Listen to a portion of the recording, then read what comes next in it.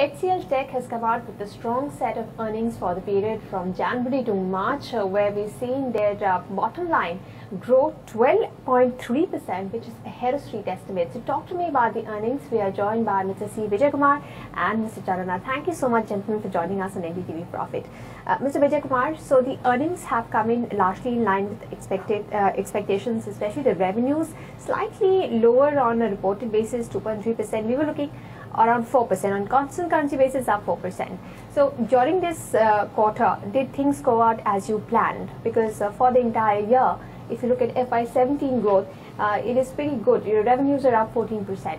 So uh, what worked for you during this quarter? Yep. So thank you, Anisha. Um, it's been a fantastic quarter. Uh, We pretty much executed as we kind of committed in the beginning of the uh, quarter. And as an overall year, it's really been a brilliant year. Uh, we really did very well in terms of revenue growth, in terms of expansion in our margins. We came in at the higher end of our guided margins. Uh, if you really look at what is working for us, right? I mean, when I took over as a CEO about uh, three quarters back, one of the big mandate was to really how to transform or evolve ourselves into the next generation technology services company. That was the big thing, right? While always you can focus and grow in some traditional services, but what is more important from a long-term perspective is how are you being relevant to your clients for the next generation services and products and platforms. I think that's where we've significantly moved the needle in the last uh, three quarters. If you look at uh, our uh, Mode 2 and Mode 3 revenues, which is really our uh, digital analytics, IoT works, cybersecurity, uh, and cloud native services, and our products and platform, from a year-on-year perspective, we've grown 31%. I think that's really what we're going to track on an ongoing basis to see how are we evolving. So it's two main themes of performance, extremely good uh, performance, industry-leading performance in terms of revenue and margin, mostly at the higher end of the range. And I think accelerating evolution into the next generation uh, technology services firm. I think we are really moving the needle uh, in this dimension. What is the organic growth? Because you also had a number of acquisitions. It was, there was Butler, then you had Geometric. Uh, so what is the organic growth boosted back up? I'm sure this. I, I, I knew this was coming, but uh, I mean, if you really look at whenever we announced uh, uh, inorganic acquisition, we've just provided the numbers from an annual perspective, and any IP partnerships, we've also announced the the investments and the the potential revenues. Right, so it's pretty much in line with what we had uh, broadly communicated to the street.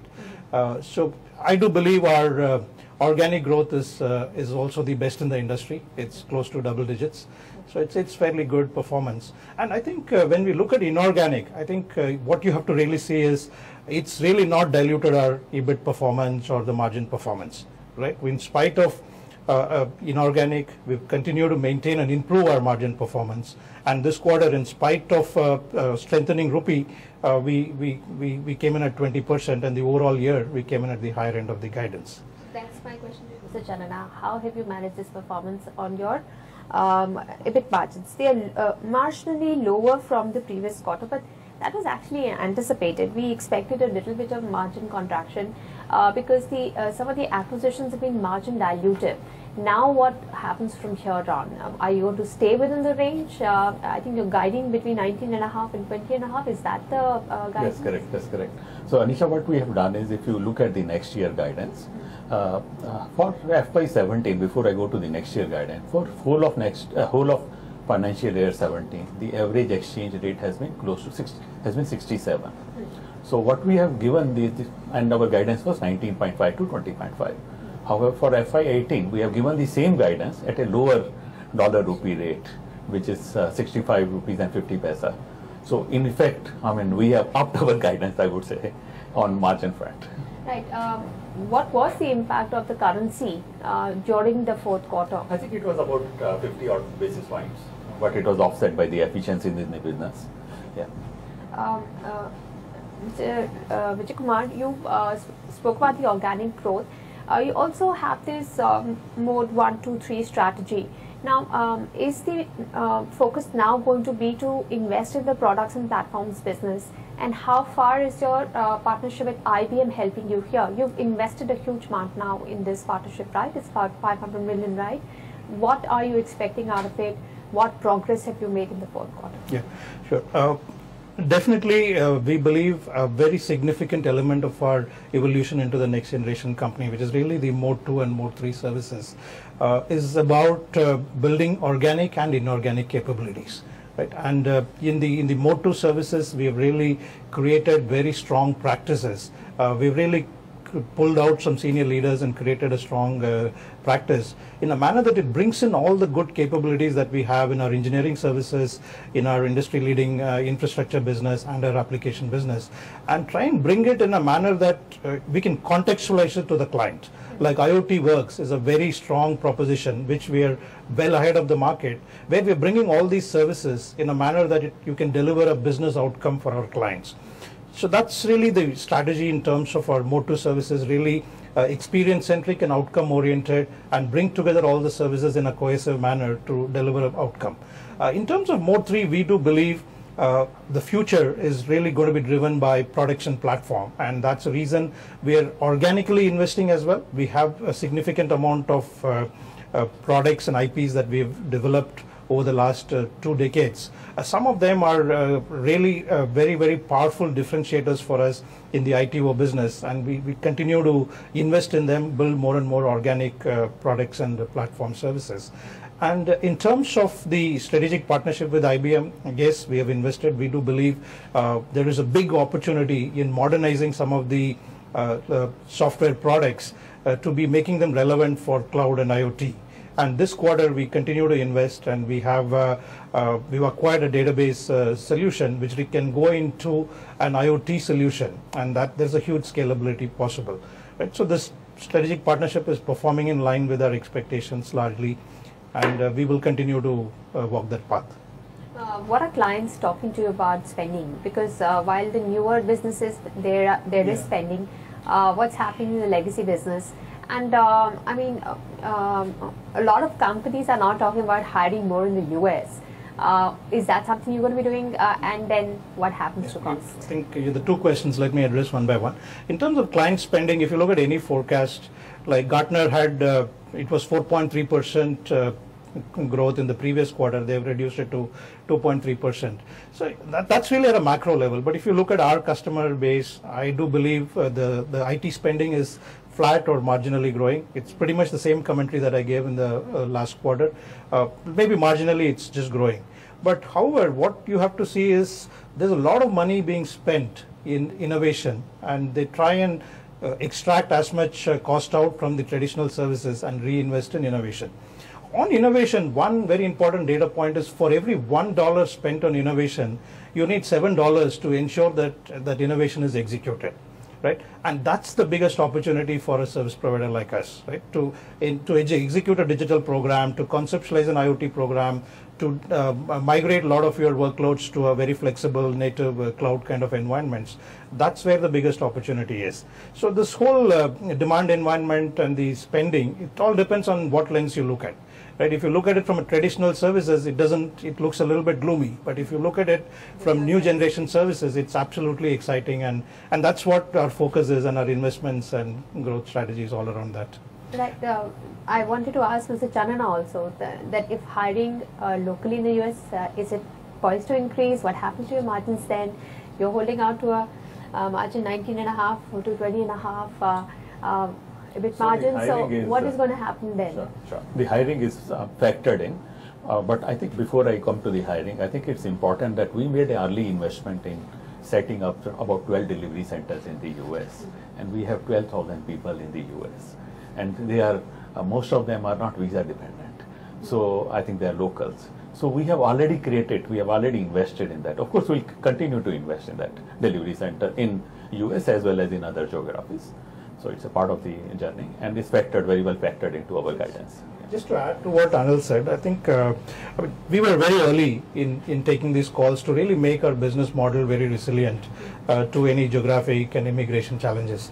Actually, I'm really surprised that some of the players are talking about adding people in the US now. Mm-hmm. It, this is something which we recognized uh, seven to eight years back. We have 12 delivery centers in the US. Mm-hmm we have 12,000 people onshore. Greater than 55% of them are locals. So we were very, very ahead of the industry to really uh, identify this risk and, and gradually mitigate it, right? And that, that's one reason we're not really uh, concern on the on the margins or anything uh, for this particular uh, element. Uh, what were the large deal wins uh, in this quarter? And uh, for the next uh, FY18, what kind of deals are you looking at? What's the pipeline like? Uh, we signed about uh, eight transformational deals last quarter. Overall, in fiscal 17, it's been a great year. We had 42 uh, transformational wins.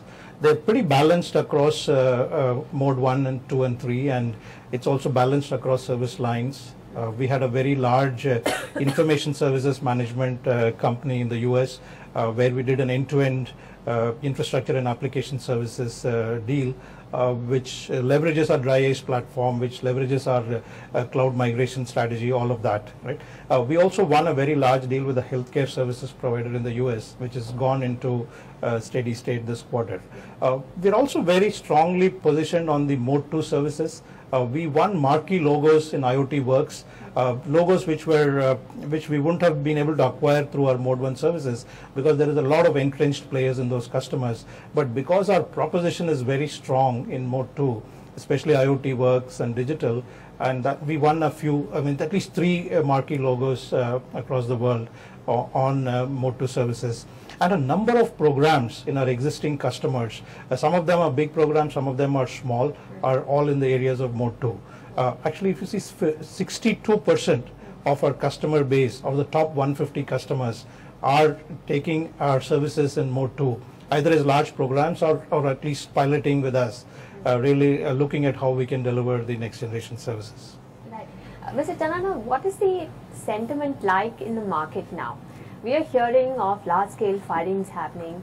Uh, are your uh, employees a little demotivated? Uh, what's the attrition like? Is there a sense of fear on what's going to happen to hiring locally and then firing also taking place in, in this industry now? I think we talked about the hiring locally so far as US is concerned, and in other geographies also we continue to hire. Uh, but if you look at our sort of a business, we are growing. We are growing in double digit. So we need people and to You're execute. so, uh, so I think, uh, and and if you look at our attrition rate, it has uh, come down by 100 bips uh, this quarter.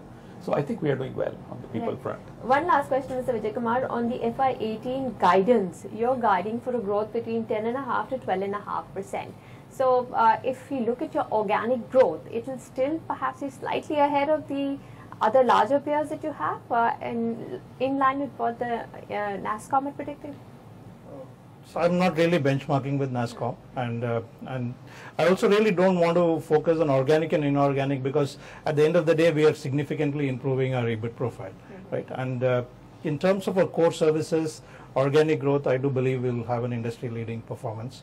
Uh, but more than looking at the total growth, I think the best way to look at the industry is how much you are moving the needle on the new generation services. I think that will be the good long-term indicator of how uh, companies are evolving uh, in this new world. What is the percentage of mix coming from the new gen business now, from the revenue Yeah. mix? So as I mentioned, uh, between FY16 and FY17, we grew 30.9%.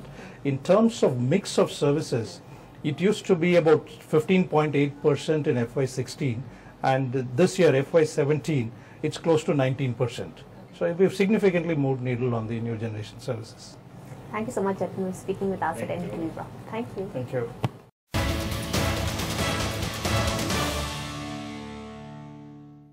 We're talking to the management of HCL Tech that has come out with its fourth quarter earnings ahead of street estimates. We're now joined by Mr. Karan Puri, who heads the consumer and commercial services business, and Mr. Rahul Singh, who heads the financial services business. Welcome, gentlemen, to NDTV Profit.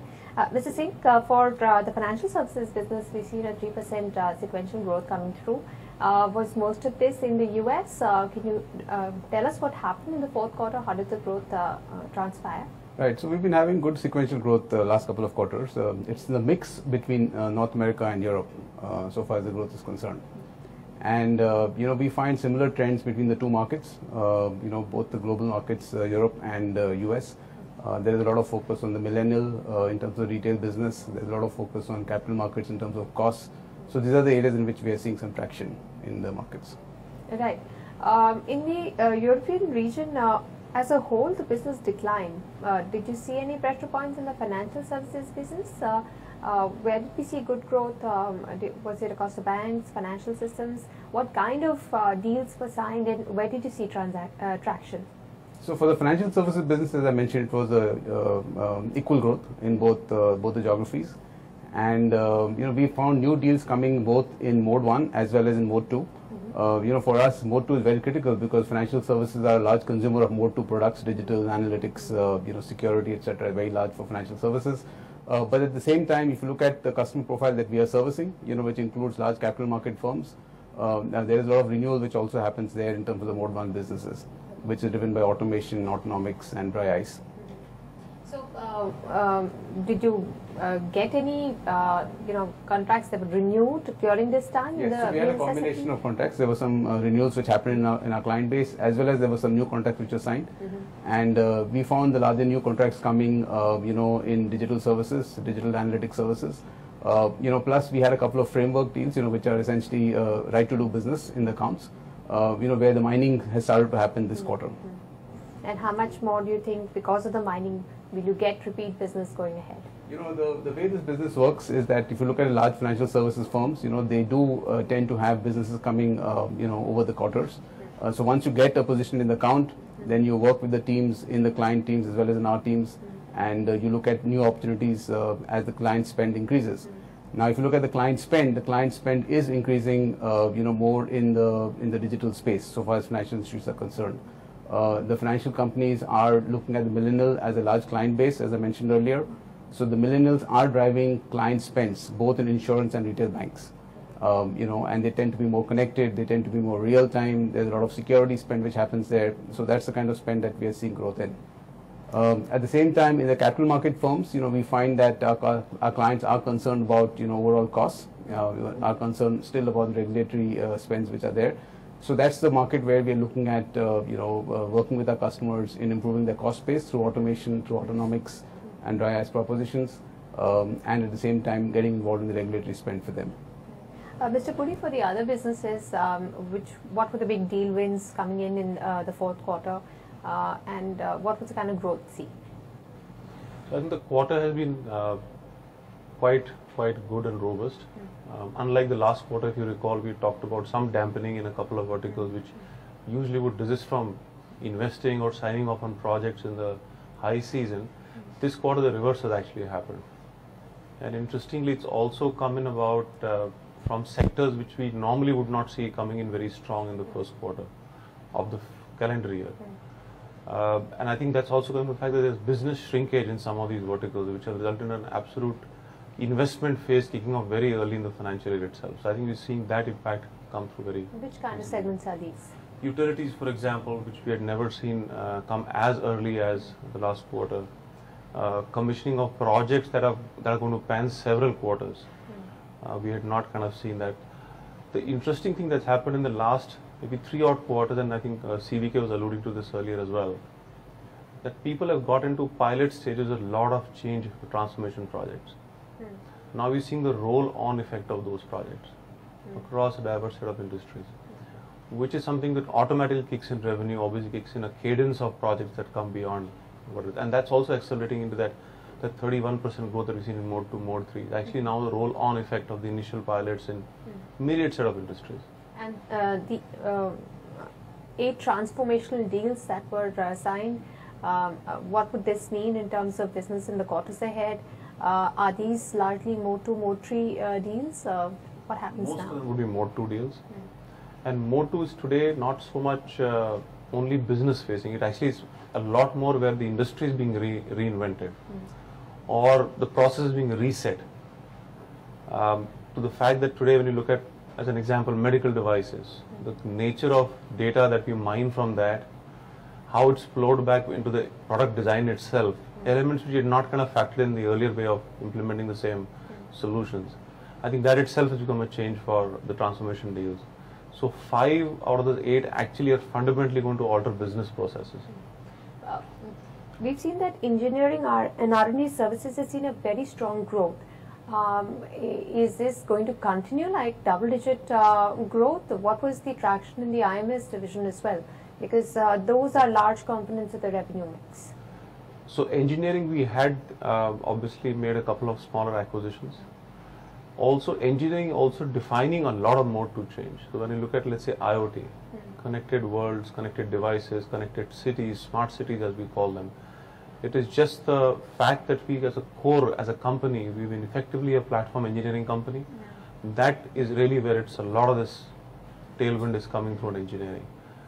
The second question on whether it will continue, I definitely believe it's going to continue. As long as there's As this more to in scale. Growth, growth rate of double digits, you think it's going to continue for engineering services? There's nothing that will stop us from doing it because that's the core business we come in uh, and present ourselves with, which is also a differentiator for us. It doesn't come naturally for competition to come in and step in the same way as we would just because of a legacy of engineering.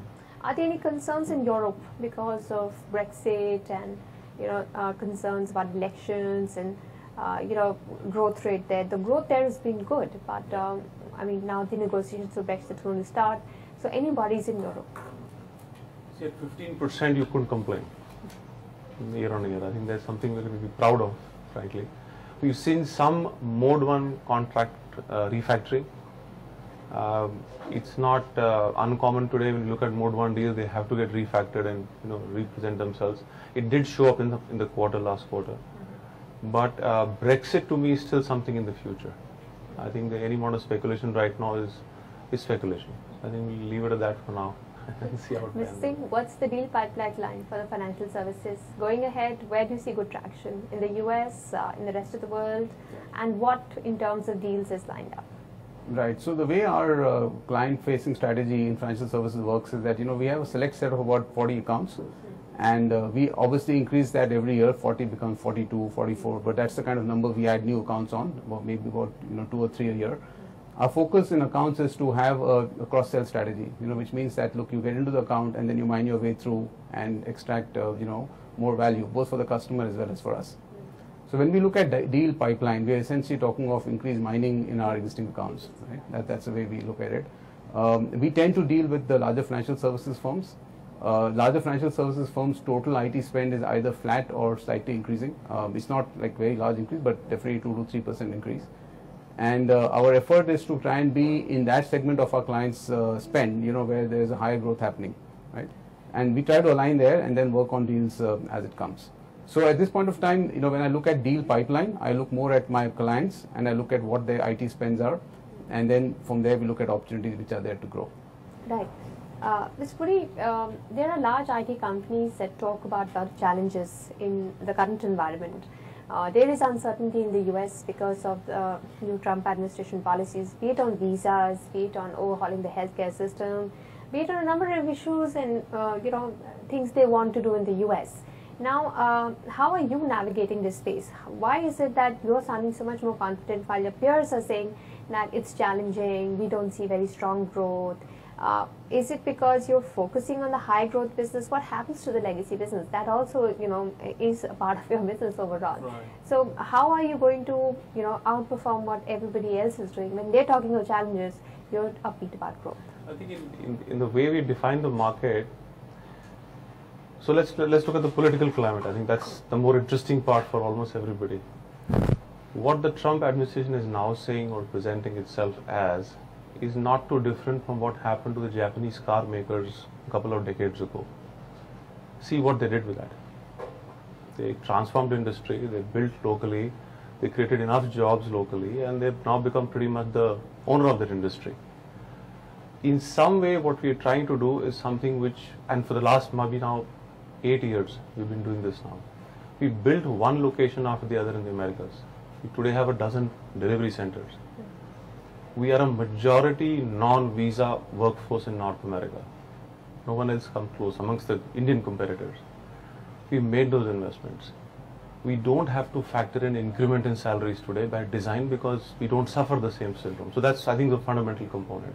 So to me it's an opportunity of hiring more local talent, doing more and more of what we've done successfully over the last several years. So that's insofar the political challenge is concerned. The first part of the question you asked was why are we more bullish? I think the point Rahul also alluded, it's about wallet share. We are currently in about 31 Fortune 100 companies in the Americas we're talking of single digit wallet shares with all the growth that we have seen as HCL. I would love to see some more wallet share there. There is no dearth of opportunity in that sense. The change that they are going through and the dollar that they are investing is actually happening in the mode two or what we call the transformation side is also where we are following within investment. So to be chasing that dollar is the center stage of our growth strategy and it will scale the way we are currently predicting it to be. I'm more than bullish about it. Right, but um, when it comes to pricing, for traditional uh, business, you know, there's no growth. It's always flat. It's very competitive. Uh, and when the newer uh, businesses, uh, the growth is great, but the size of the deals are small. So what's happening with pricing overall? It's the deal that is not there. The spend is there. So there is no announcement, and the reason is simple. The mode one or the large infrastructure-led large ASM projects were largely done by third-party consulting companies who would advise them how to create a large transaction because that's how they were rewarded. Mode two is about a business stakeholder wanting a change, and that change essentially starts with a pilot, showcasing some success, making that success relevant to the business, and then there's a cadence of projects after that, which is really the roll-on effect I talked about earlier as well. So how many pilots were you doing? And how many are actually translating into business now? So at any point in time, a customer will give you five or six different things to try on. Two or three of them definitely yield some positive business-funded projects. Mm-hmm. And then, it- then they don't stop. Then it's a question of taking a new geography, a new product line, a new way of delivering it, and just that- that's the cadence that we'll offer. So there's no transaction which says big deal, X value announced, celebrated.